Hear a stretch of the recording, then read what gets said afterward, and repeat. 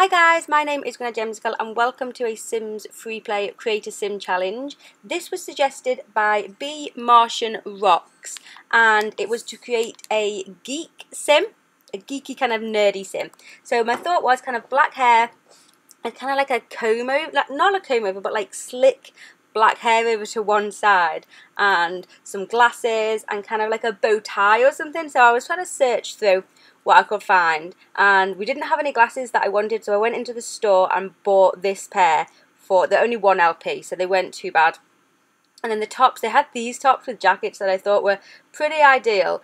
Um, I did want maybe like some what they called? Braces? And there was a a top with some braces, but it kind of made him just look like a bit of a robber. So I decided not to go with that. I decided to go with this look with the bow tie and then just some plain black pants and some black shoes. I was trying out some different tops here. They're the one that I was talking about with the with the braces.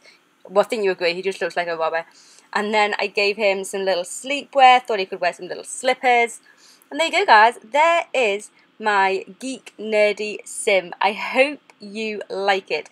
Let me know down in the comments what you think. Also, his name is Norman. I don't know whether I read a book or something when I was little, but I always classed Norman as a kind of geeky, nerdy type name. So his name is Norman, and there he is. Let me know down in the comments some other suggestions. You've been sending in loads of different suggestions, so I have got quite a few actually at the moment. One's like a hipster, a disco, a beauty guru, loads of different suggestions. But comment down below any more creator sims that you would like to see me if you do go ahead and create your own, make sure you go over to my Facebook page, Greenoid Gemzicle, post a little picture on there, or you can find me on Twitter at GGemzicle, so I can see all your amazing little creator sims and any more suggestions of what you want me to do.